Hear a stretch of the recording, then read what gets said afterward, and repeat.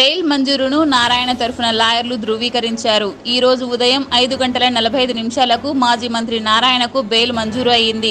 April ఇరవై ఏడున చిత్తూరు జిల్లా గంగాధర నెల్లూరు మండలం నెల్లేపల్లిలోని జెడ్పీ ఉన్నత పాఠశాల నుంచి పదో తరగతి తెలుగు ప్రశ్నాపత్రం వాట్సాప్ ద్వారా బయటకు వచ్చింది.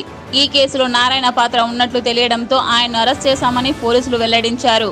ప్రశ్నాపత్రం వాట్సాప్ గ్రూపులో చక్కర్లు కొట్టడంపై చిత్తూరు డీఈఓ ఫిర్యాదు చేయడంతో పట్టణ స్టేషన్లో కేసు నమోదయ్యింది. నారాయణ విద్యా సంస్థల అధినేతగా ఉన్నారని నారాయణపై పోలీసులు అభియోగం మోపారని కానీ రెండు వేల పద్నాలుగులోనే ఆ విద్యా సంస్థల అధినేతగా నారాయణ వైతొలిగినట్లు పేర్కొన్నారు. నారాయణ విద్యా సంస్థలతో తనకు ఎలాంటి సంబంధం లేదంటూ కొన్ని డాక్యుమెంట్స్ను న్యాయమూర్తికి సమర్పించినట్లు తెలిపారు.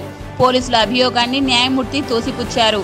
ఈ నెల పద్దెనిమిదిలోగా లక్ష రూపాయల చొప్పున ఇద్దరి పూచికత్తు ఇవ్వాలని న్యాయమూర్తి ఆదేశించారని నారాయణ తరఫున న్యాయవాదులు తెలిపారు.